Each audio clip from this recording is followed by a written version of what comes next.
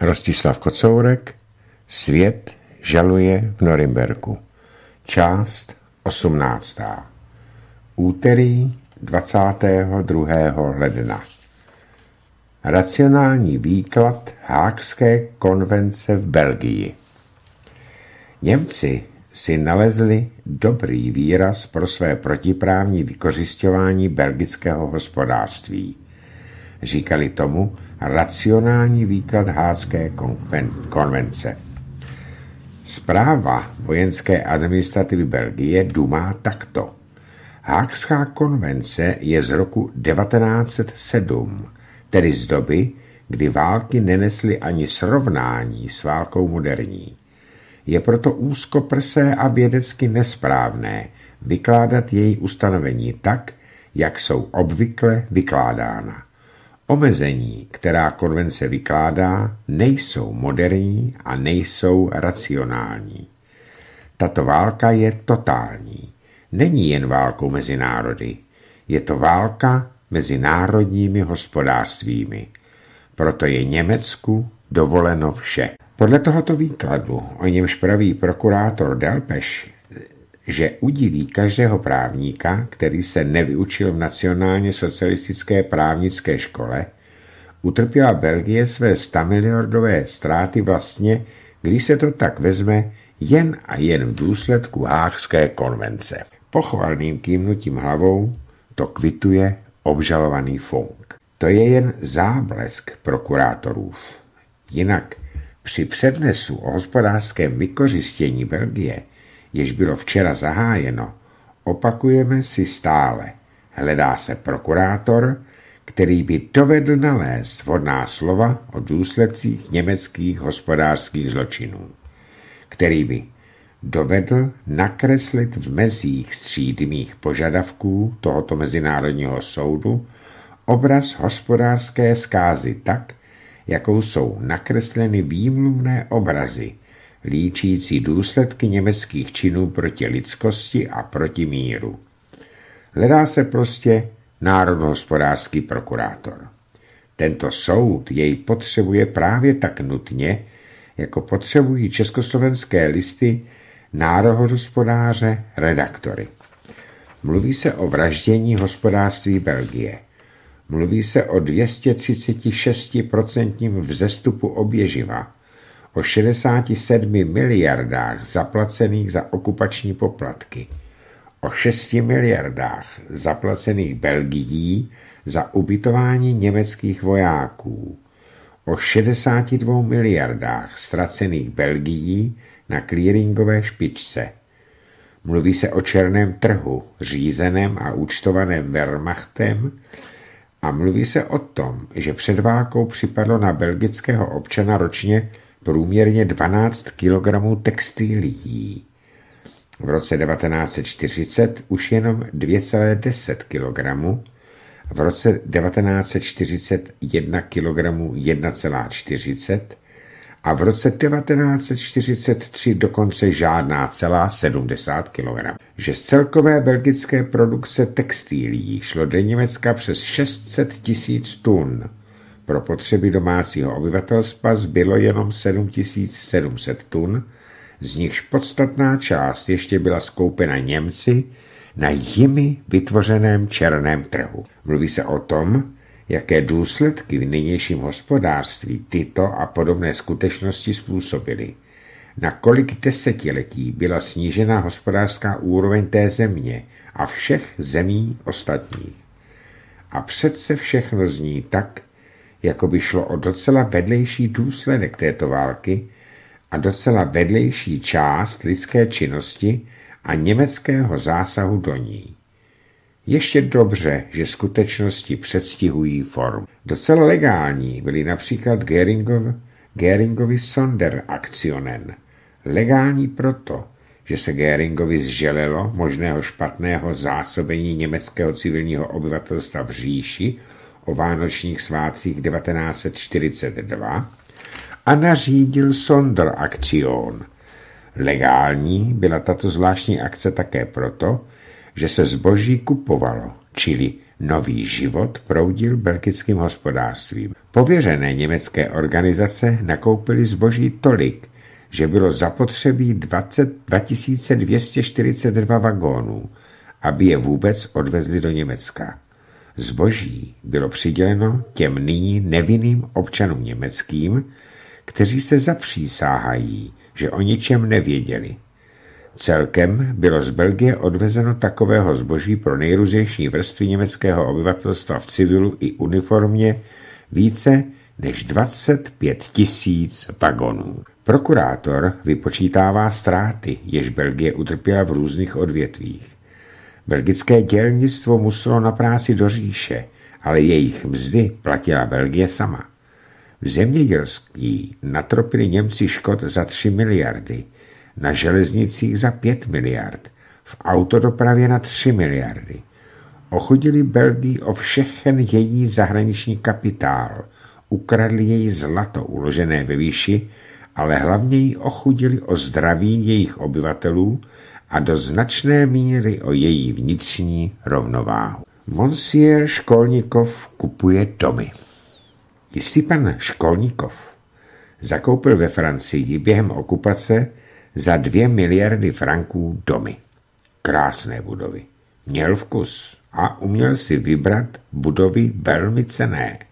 Tomu uznává jak pařížská policie, tak prokurátor Gerthofer, který dokazuje, jak Francie byla Německem ochuzována.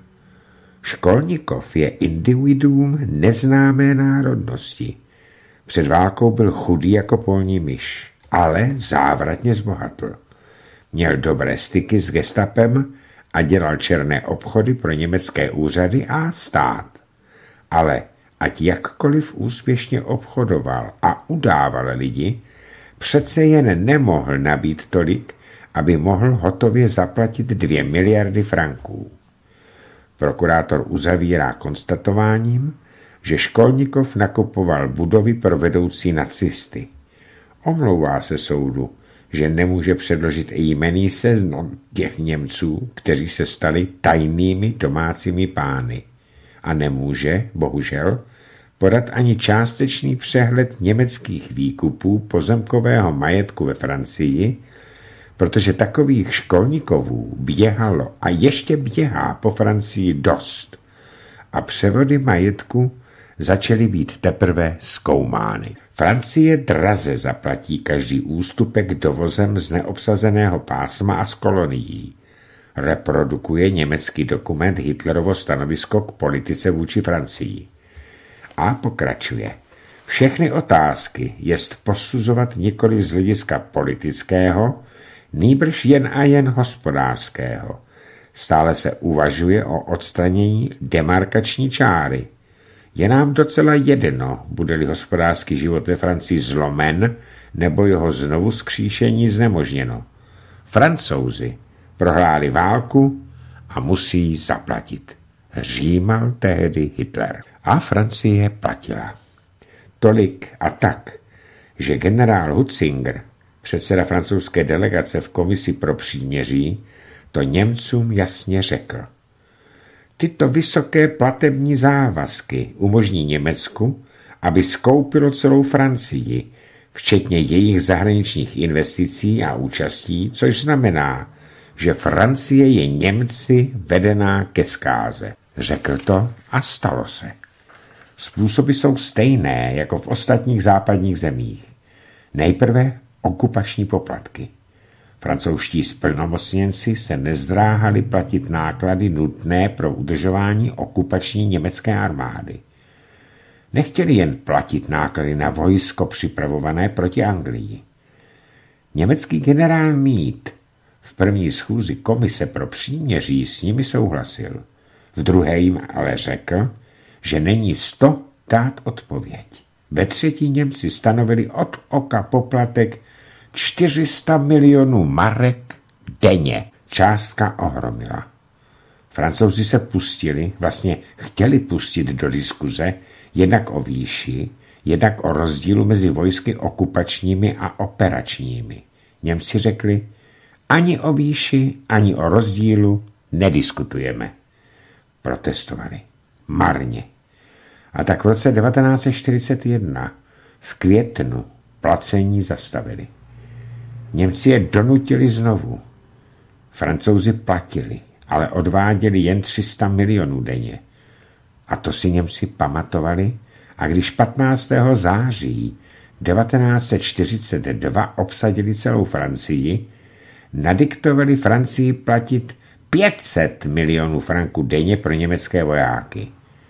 Bylo to tak přehnané, že tu částku Němci nemohli spotřebovat pro vojáky a dávali peníze civilním německým úřadům.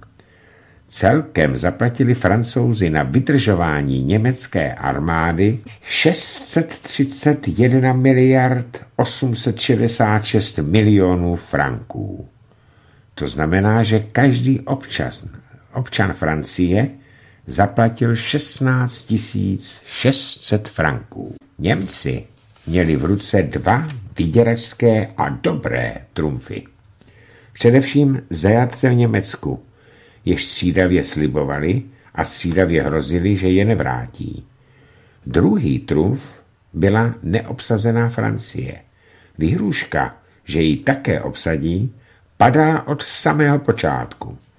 Při stanovení kurzu franku k marce 20 ku 1 při úmluvách o podmínkách clearingu jehož špička se vznesla v neprospěch Francie až k dvěma stům miliardám. Při jednáních o postoupení zahraničních pohledávek a podílů prokurátor tu praví, že dokumenty v této věci jsou tak početné, že by bez přehánění zabrali prostor několika krychlových metrů materiálu. Stereotypně a výhružně zněla německá argumentace. Neplatíte? Dobrá, pak si vezmeme bauxit rovnou, což znamená, obsadíme i zbytek Francie. Tři čtvrtiny surovin vyvezli Němci oficiálně. Ze zbytku byly zásobeny především továrny, pracující na německých objednávkách. Za 203 miliard bylo zboží přímo Německem objednané a dodané. Ničím se nedá změřit ani spočítat, za kolik miliard zboží odcizili, odcizili Němci domácímu trhu výkupem na černém trhu. V některých druzích zboží to je plných 100%, například máslo, vejce, všechny druhy dobrých vín a alkoholických nápojů. V důsledku násilného odvezení dělníků do Německa ztratilo národní francouzské hospodářství 2,5 miliardy pracovních hodin. V tom není započítána ztráta vznikající z práce dělníků pracujících ve Francii pro Němce. Vylíčiv zhoubné následky podvýživy na budoucí generaci, obrátil se prokurátor k obhájcům. Nechť si moji odpůrci neříkají, že německý národ se dostal na stejný stupeň hladovění. Není to správné. Po čtyři roky netrpěli Němci zimou, nebyli podvyživováni. Naopak, byli živeni dobře, teple oblečeni, dobře obuti a to vše výrobky ukradenými v obsazených zemích, kde bylo ponecháno často i méně, než bylo nezbytné pro holou existenci obyvatelstva. Dále bych jim odpověděl, že Němci chtěli tuto válku a také ji začali, ale neměli práva vyhladovovat ostatní národy a opatřovat si tak prostředky k provádění svého plánu na ovládnutí světa.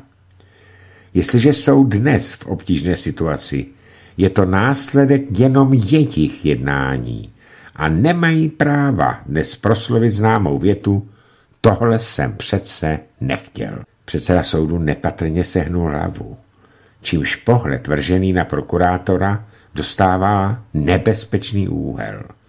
Pak se dívá na hodiny. Ukazují jen několik minut do páté. Nestojí za to se prokurátor vyplést do přednesu. A prokurátor, cítě se bezpečen, pouští se na pole ještě vzdálenější od předsedových představ o úkolu prokuratury.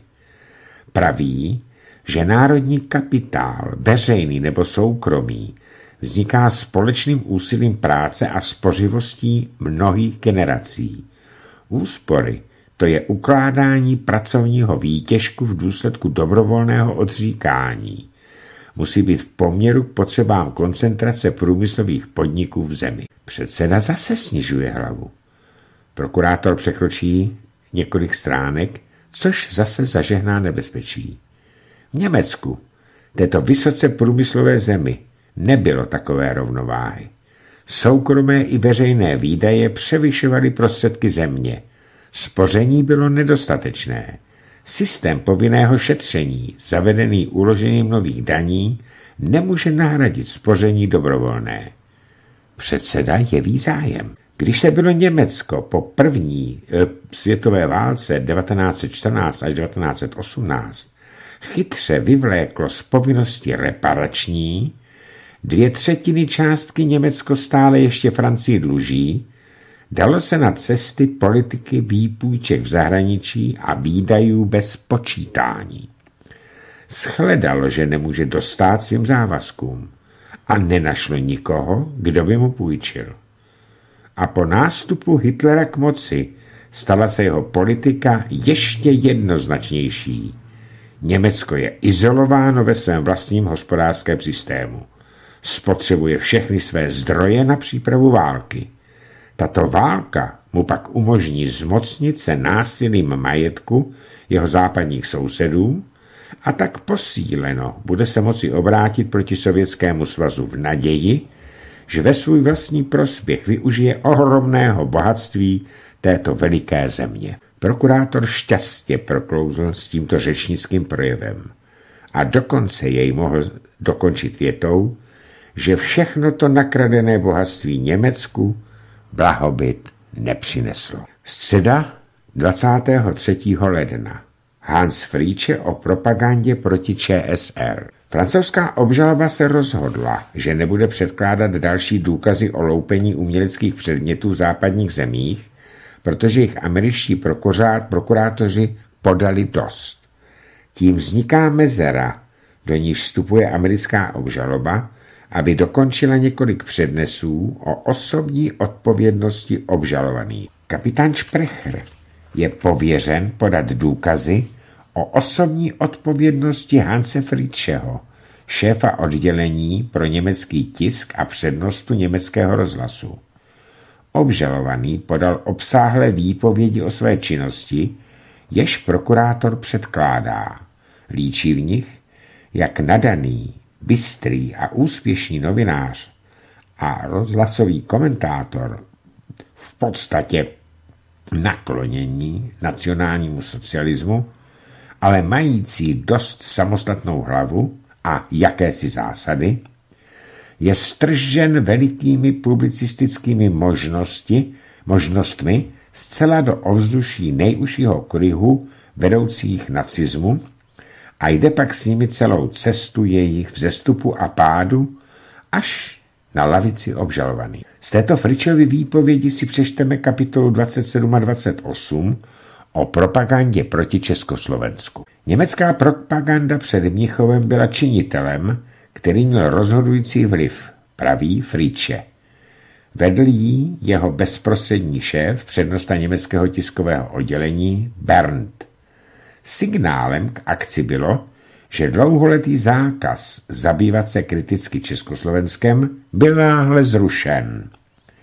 Německý tisk byl od léta 1938 vyzýván v denních směrnicích, aby se zabýval národnostními otázkami v Československu.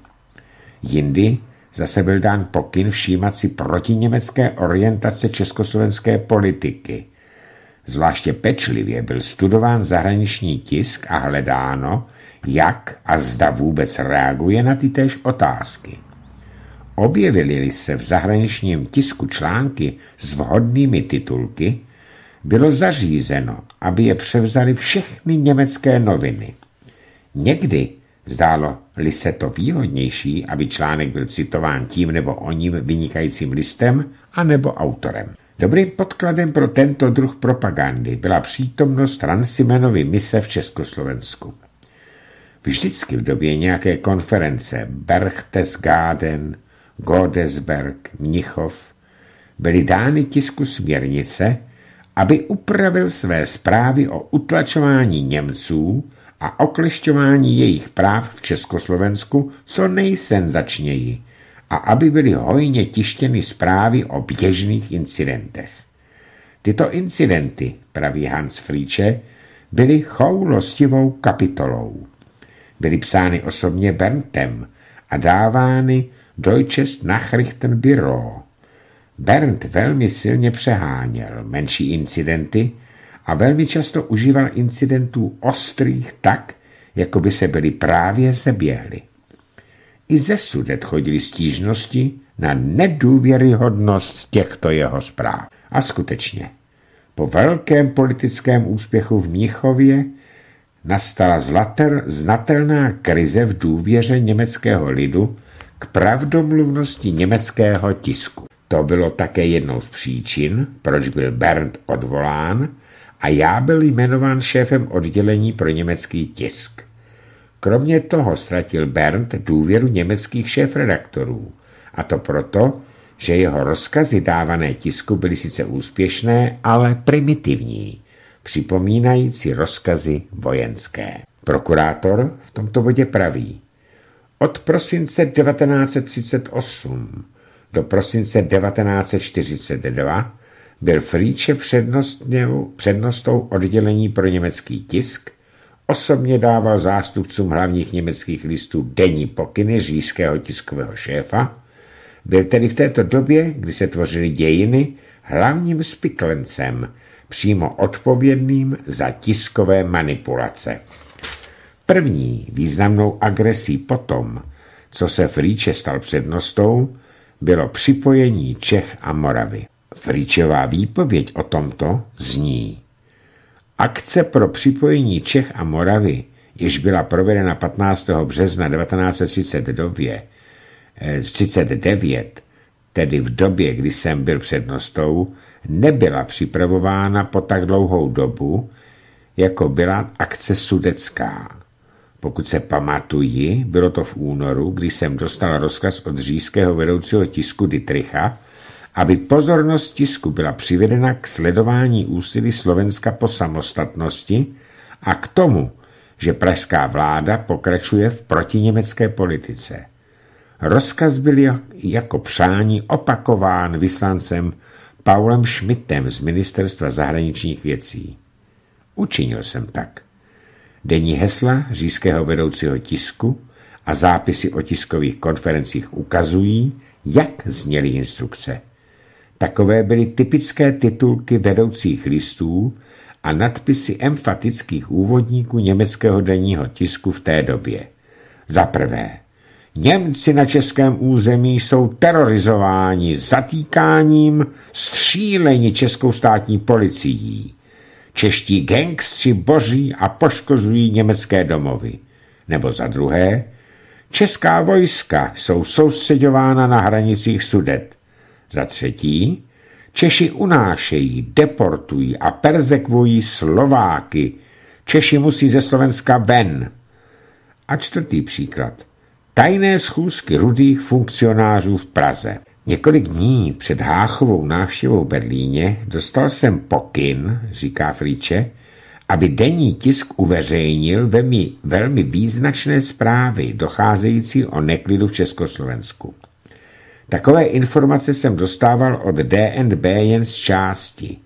Většinou však jsem je dostával z tiskového oddělení Ministerstva zahraničních věcí a některé pocházely ze zvláštních dopasovatelské služby velkých deníků. Nejvíce nabízel takové informace Felkischer Beobachter. Dostával je, jak jsem se později dověděl, od SS Standartenführera Gintera Dalgenia. Byl v té době v Bratislavě. Zakázal jsem všem spravodajským kancelářím a všem novinám, aby tiskli zprávy o nepokojích v Československu dříve, než jsem je četl. Chtěl jsem zabránit, aby se opakovaly nemilé následky sudecké kampaně a nechtěl jsem ztratit prestiž nespravedlivý, nespra, nepravdivými zprávami.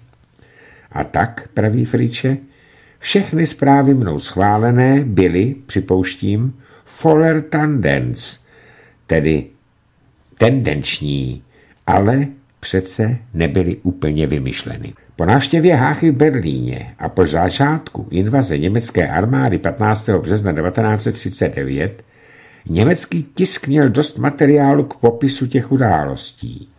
Historicky a politicky byla událost ospravedlnována tím, že prohlášení samostatnosti Slovenska volalo po intervenci a že Hácha svým podpisem zabránil válce a znovu nastolil tisíciletou jednotu mezi Čechami a říší. Když líčí Friče propagandistickou kampaň proti Polsku, udává, že jedním z hesel nařízených německému tisku bylo téma Polsko perzekvuje Čechy a Ukrajince. Ještě jednou se vrací Hans Friček Československu a to tam, kde říká, že propagandou mělo být získáno srdce obyvatelstva obsazených zemí. Mluví tam o Praze, do níž proudí lidé, peníze a stroje. Trochu ruchu. Projednání případu von Papenova je rušné, tak jako jeho život. Neměl přijít dnes na řadu. Na programu byl Hes, ale Hesův obhájce si pochroumal kotník a obžaloba i soud se domnívají, že je lépe vzít někoho jiného. Hes je uražen. Zase bude Bůh ví jak dlouho čekat, než se jeho jméno bude rozléhat, třeba to bylo jen v nepříjemné soudní síni. Živí v sobě hněv a dochází k rozhodnutí, které tlumočí za něho hned nad počátku odpoledního zasedání jeden z obhájců, doktor Horn, zástupce Ribbentropův. Říká, obžalovaný Hes u mě požádal, abych oznámil soudu, že od nynějška až do konce soudního řízení použije práva daného mu chartou a povede svou obhajovu osobně sám. Důvodem proto, že se chce sám hájit po celou dobu zbývajícího procesu, je, že jeho advokát nebude informován o průběhu procesu. Takoví jsou právníci. Vždycky řeknou něco jiného, než Hes myslí. Jaké pak informování? Pochroumat si kotník zrovna, když mám být ve všech novinách. Já mu dám. A přitom v těch novinách přece budu. A je to. Soud si vyhradil rozhodnutí. Stanovil mu obhájce jiného. Doktora Seidla, zastupujícího Franka. Další ruch vzniká z toho, že prokurátor poslal pro dokumenty týkající se von Pápena. Soud je má. Novináři je mají, samozřejmě. Ale druhá dávka pro tlumočníky ještě není v jejich rukou. Bude to za několik minut. Také francouzští prokurátorové je i hned dostanou.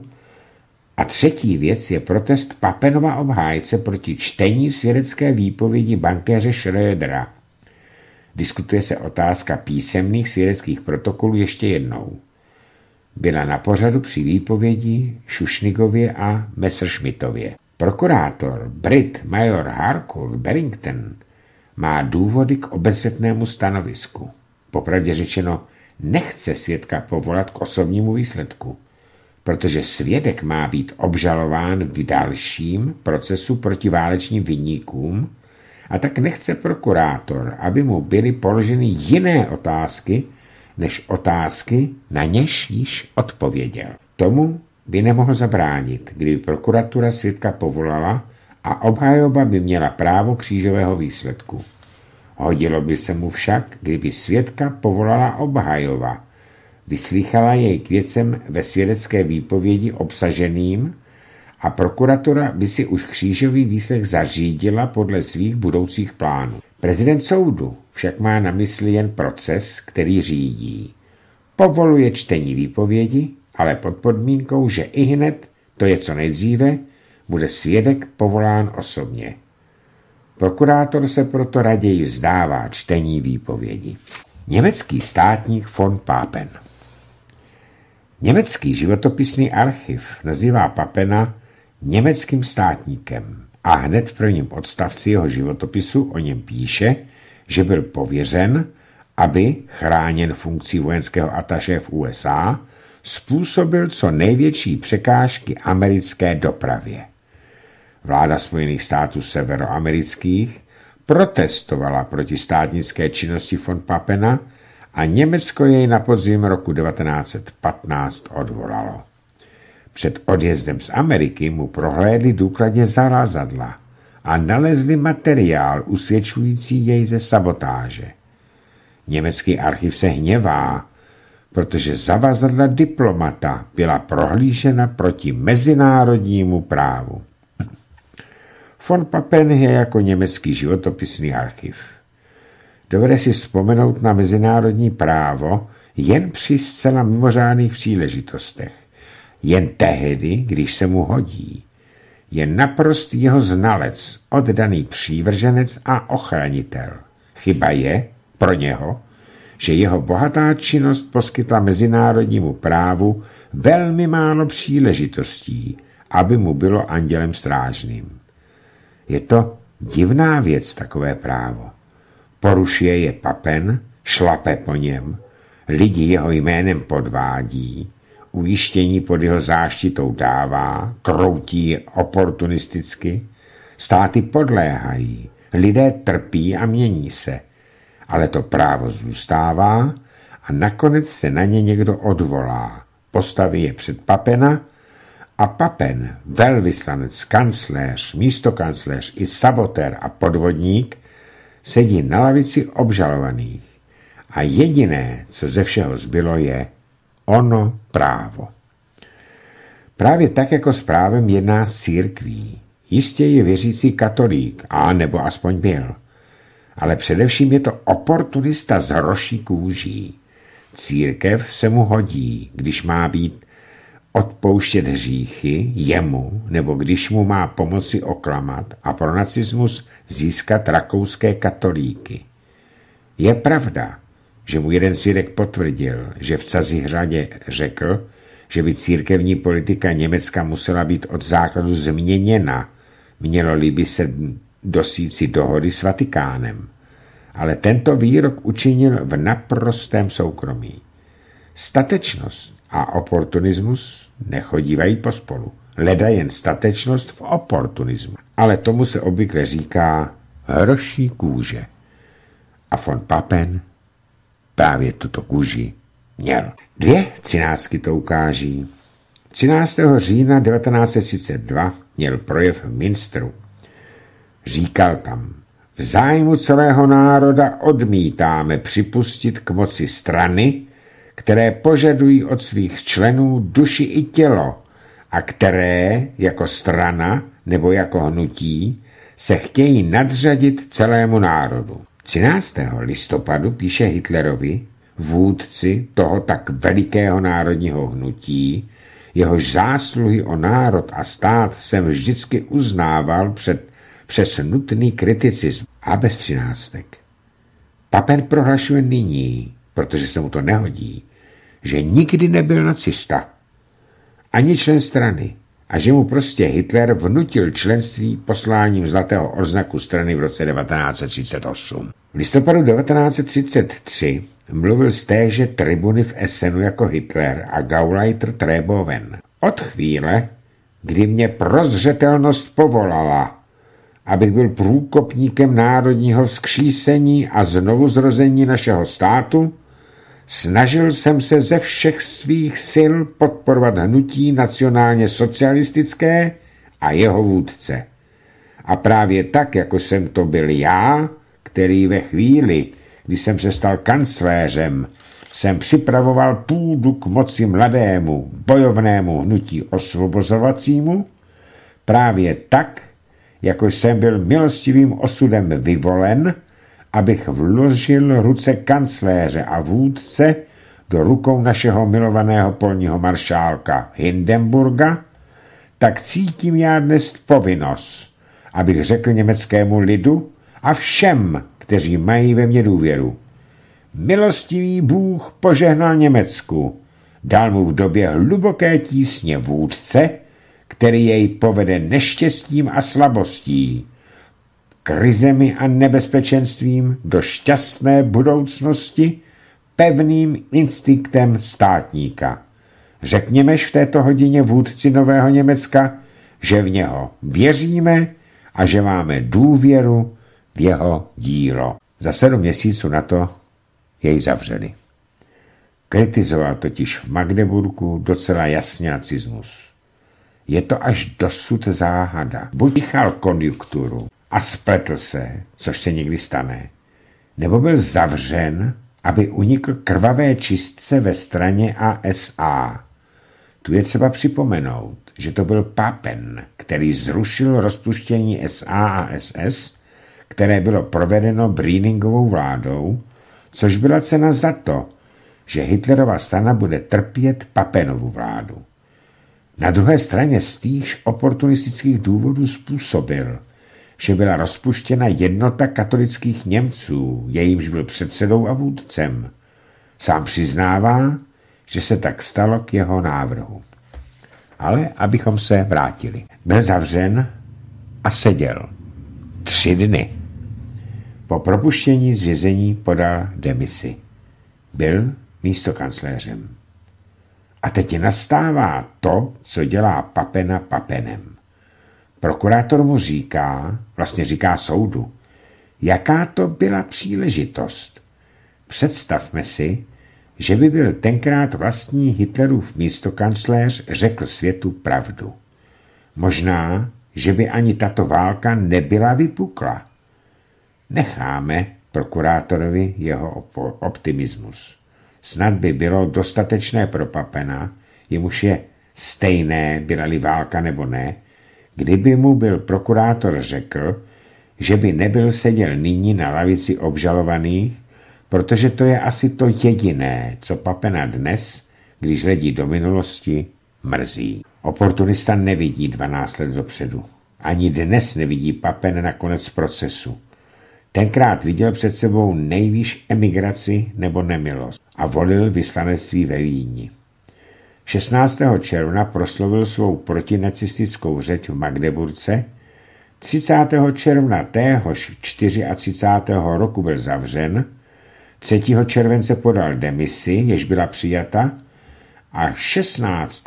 července téhož roku bez urážky a uzardění jako svůj úspěch přijímá Papen Hitlerův dopis, v němž je jmenován vyslancem ve Vídni a v němž Hitler mluví o důvěře bez hranic a mezí, která panovala mezi nimi po celou dobu, kdy pracovali spolu ve vládě, v němž děkuje za všechno, co Papen udělal pro koordinaci vlády a nacionální revoluce a co společně udělali potom pro celé Německo. Ve slovech žaloby to zní docela jinak, ale smysl je stejný. Žaloba prostě říká, že pomohl nacistickým spiklencům k moci a že spolupůsobil při upevnění jejich kontroly nad Německem. Dodává k tomu jen to, že to byl zločin. Papen tenkrát myslel, že to je šikovnost. Mezi dokumenty týkající se činnosti Papena v Rakousku je jeho dopis z 12. května 1936 adresovaný Hitlerovi a jednající o Freiheitsbundu. Papen v něm praví, že český legační sekretář Dohalský nabízel vůdci Freiheitsbundu Staudovi peníze na posílení boje proti Heimwehru a že si kladl podmínku, že Freiheitsbund zaujme nepřátelské stanovisko proti Německu. Papen na to navazuje žádost o peníze pro tuto organizaci, s níž a zejména se Štaudem jsme již v intimním vztahu. Žádá 100 tisíc marek v šilincích. Velmi výrazné je písemné svědectví amerického velvyslance Messerschmitta, v němž je reprodukována rozmluva s Papenem na německém vyslanectví. Papen mluvil docela otevřeně o útočných německých úmyslech proti jihovýchodní Evropě. Označil ji za přirozené zázemí Německa. Messerschmitt se podivil výrokům Papena proti Rakousku. Přímo mu řekl, že je zaražen nad tím, že akreditovaný zástupce státu, o něm se předpokládá, že je v přátelských stycích se státem, u něhož je papen vyslancem, přiznává, že je jeho úkolem, aby podkopal a zničil vládu, u níž je akreditován. Papen se na tuto výtku jen usmál a řekl, ale vždyť je to tak, jen tak mezi námi. V únoru 1938 byl papen odvolán, ale už v dubnu 1939 byl ustanoven velvyslancem v Ankaře a šel tam. Přesto, že to bylo po datu, kdy obsazení Československa nemohlo nechat ani stín pochyby v Papenovi mysli, že Hitler je rozhodnut svůj útočný úmysl provést až do konce. Komentuje prokurátor. SS Obergruppenführer, svobodný pán, Konstantin von Neurath. Von Neurath komentuje některé z titulů a poet, které dostal od Hitlera. Britský prokurátor Sir David Maxwell Five komentuje tyto komentáře. Obžalovaný praví, že vyznamenání zlatým odznakem nacistické strany dostal proti své vůli a aniž byl dotázán. Podotýkám, že obžalovaný nejen neodmítl poctu, o níž praví, že ji nechtěl, nýbrž, že poté, kdy ji dostal, zúčastnil se schůzí, na nichž byla plánovaná agrese. Zúčastnil se Číně znásilnění Rakouska a byl tyranem nad Čechami a Moravou. Dále tvrdí, že jeho ustanovení Gruppenführera bylo provedeno také proti jeho vůli, aniž by byl předem dotázán. Obžaloba má za to, že je třeba vzíti při posuzování tohoto tvrzení obžalovaného v únohu úvahu, že nosil SS uniformu a že přijal povýšení na Obergruppenführera a také to, jak jednal proti Čechám a Moravě. Tvrdí, že byl jmenován zahraničním ministrem prezidentem Hindenburgem. Myslím, že není třeba nic, než abych upozornil na obžalovaného von Papena a na osobu Hitlera, rovněž jmenované Hindenburgem, a na skutečnost, že Hindenburg zemřel v roce 1934, když to obžalovaný byl zahraničním ministrem až do roku 1938. Říká, že jako ministr nebyl činný od 4. února 1938 až do května 1945.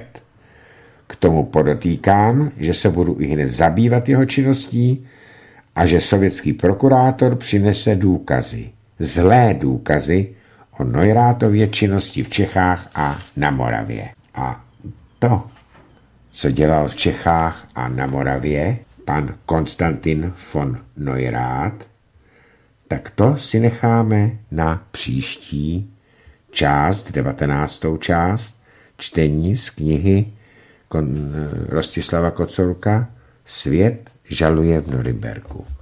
Teď si do 19.